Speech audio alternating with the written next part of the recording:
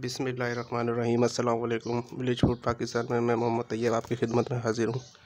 आज हम बनाएँगे मीठी टिकिया, जिसे हम कुंडे भी बोलते हैं। आज अबू जान की फरमाइश थी कि खाने में जो है मीठी टिकिया भी साथ हों। तो इसके लिए हमने पहले ही ये बना ली है टिकिया। इसके लिए हमने क्या किया एक पाव मैदा लिया हमने, आधा पाव सूजी, आधा पाव चीनी। पहले हमने आधा पाव चीनी में चार छोटी इलायची दाने, इसकी चाशनी बना ली। फिर ये मैदे और सूजी को मिक्स करके इसमें चाशनी से और असली असली घी से आटा गूंद लिया इसका। फिर इसको गिलास की मदद से हमने काट के इस तरह से बना दिया। और हमने असली घी यूज़ किया है। आप अगर ऑयल यूज़ करना चाहें तो ऑयल भी यूज़ कर सकते हैं, कोई भी घी आप यूज़ कर सकते हैं। हमने असली घी यूज़ किया है इसमें। और हमने गिलास की मदद से इसको काट लिया। बीच में ऑयल लगा के बेलते भी रहे। अब हम इसको फ्राई पैन में फ्राई करेंगे। हम इसमें अब असली घी डालेंगे।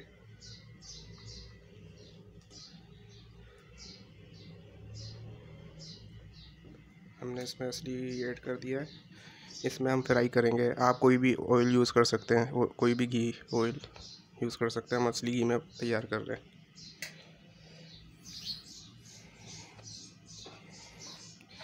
घी गर्म हो रहा है अभी।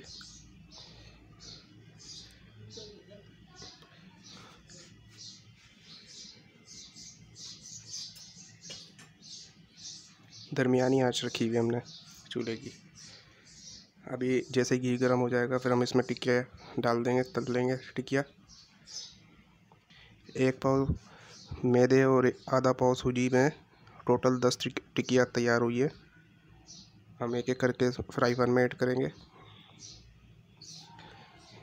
एक टिकिया डाली हमने इसमें।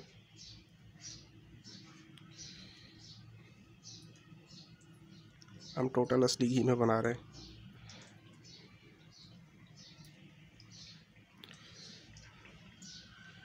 अभी चार टिकट ऐड करेंगे।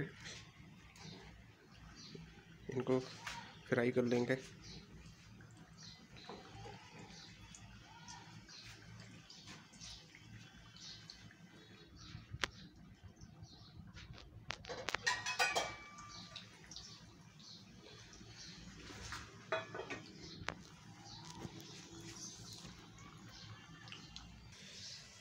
देखिए हमारी मीठी टिकिया, देखिए फ्राई कर ली है हमने। कितना अच्छा कलर आया है। मीठी टिकिया का और बाकी जो है, हम फ्राई कर रहे हैं। हमारी मज़ेदार मीठी टिकिया तैयार हैं, जिसे हम कूड़े भी कहते हैं। अब हम अम्मी जान और अबू जान को सर्व करेंगे। उम्मीद करता हूँ हमारी ये रेसिपी आपको बहुत पसंद आई होगी। दुआ में याद रखिएगा। मोहम्मद तैयब को दीजिए इजाज़त। मिलेंगे नेक्स्ट वीडियो में। अल्लाह हाफिज़।